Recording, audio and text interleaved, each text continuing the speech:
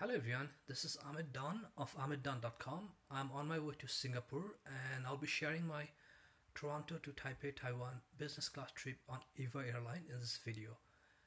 If you haven't subscribed already, please subscribe now because there'll be more videos coming up from my Singapore, Australia, New Zealand and Malaysia trip. So I'll see you shortly. Thank you.